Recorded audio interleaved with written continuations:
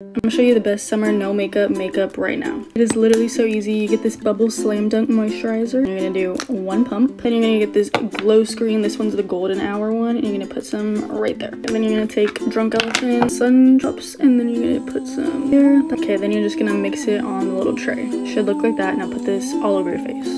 Okay, once you put it all over your face, you're gonna get this. This is magic ingredient. The e.l.f. monochromatic. You're just gonna go like this. That's it. And then the other side.